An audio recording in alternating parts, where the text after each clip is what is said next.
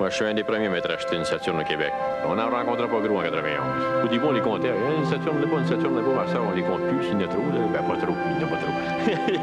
Mais j'ai hâte d'avoir les nouveaux modèles un peu plus spacieux, là, puis euh, plus silencieux qu'ils disent, eux autres, là. Saturne, ils ne prennent pas pour des valises, comme certains que je connais. Même le service a été réinventé. Tout le monde est super poli, gentil. Saturne, c'est c'est pas qu'un auto qui est spécial, c'est le monde qui est spécial.